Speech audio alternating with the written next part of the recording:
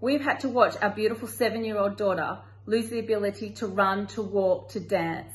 She's lost cognitive skills so she can no longer count or sing her favourite nursery rhymes. She's lost the ability to speak. She's going blind. She's finding it harder and harder to recognise family and friends.